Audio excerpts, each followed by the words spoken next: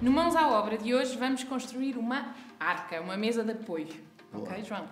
Eu trouxe do Leroy Merlin umas placas já todas cortadinhas, todas iguais, seis, se é um cubo são seis. Certo. Ela vai abrir em cima, vai ser uma arca, depois podem guardar as mantas, revistas. E, e pronto, eu já trouxe as placas do Leroy Merlin todas certinhas, todas direitinhas, para o João começar a montar. Pois, é tudo certo até agora, mas pelo que eu percebi, você mandou vir as medidas todas iguais, ou seja, as seis placas têm a mesma medida e não dá. E não dá porquê? Porque, como nós vamos fazer um cubo, existem duas peças que têm que ser mais curtas. Porquê? Vou explicar. E a ti também. Então, nós temos estas duas laterais Certo? e estas interiores têm que ser Mais curtas por Mais causa curtas. da espessura da madeira. Isso mesmo, para que as medidas finais sejam todas iguais. Se eu trouxesse tudo certinho, não tinha graça nenhuma, porque o João não tinha nada para fazer. Portanto, eu tive que trazer assim, para simplificar o trabalho no Leroy Merlin, Ok. e agora o João faz esse ajuste Estava aqui. para mim. Mas eu também gosto destes, estes desafios, quer dizer que eu estou atento, não é? É, Ah, pronto. sem dúvida. Então vamos a isso. Para tal, o que é que vamos começar a fazer? Vamos retirar o excesso de madeira que nós temos nas duas laterais. Ou seja, se nós temos uma espessura, neste caso de 19. 19 milímetros, vamos ter que tirar duas vezes 19 milímetros, Correto. que pelas minhas contas é 38 milímetros. Ui, Estava na matemática Tão hoje. forte hoje.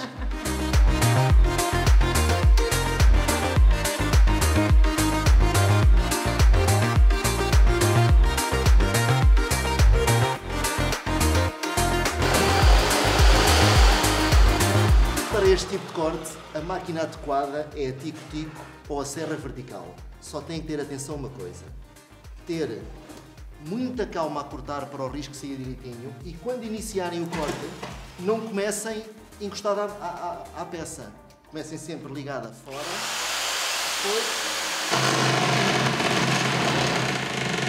é que avançam, ok? Depois com calma vão até ao fim, não tenham pressa.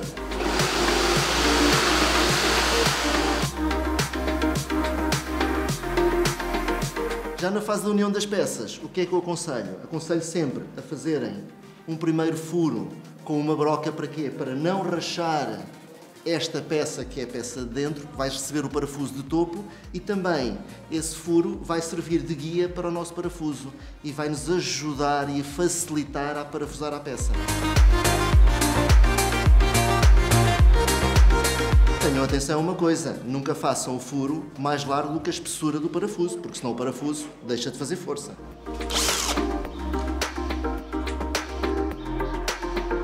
Coloquem sempre o parafuso um bocadinho mais dentro da madeira, porquê? Porque assim ganham um espaço para colocar ou um betume madeira ou um betume normal se formos pintar. Portanto, facilita-nos o trabalho.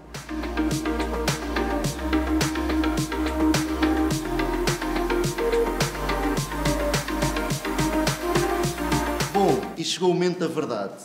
Se as medidas que nós tiramos e os cortes que fizemos estão corretos, esta tampa, que neste caso vai ser a base, vai assentar que nem mel. Vamos ver o verdito. Nem mais. Era o que eu calculava. Perfeito. Vai.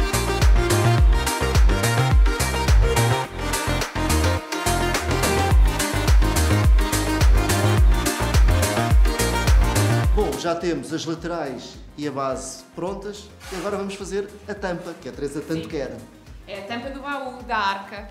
Então, eu trouxe do Leroy Merlin umas dobradiças que o João vai me dizer se são adequadas ou não para esta arca, para esta tampa. Estas dobradiças são excelentes, é uma dobradiça de piano. No entanto, como não temos o tamanho total da nossa abertura, o que eu vou fazer é cortar ao meio para distribuir o peso para ambos os lados. Portanto, está perfeito. Boa.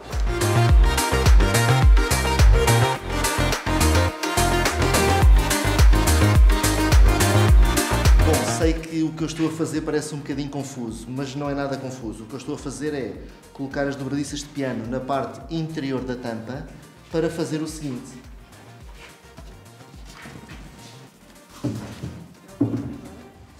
Depois de alinhar, torna-se muito mais fácil a parafusar esta zona e depois é só fechar a tampa. E a magia acontece.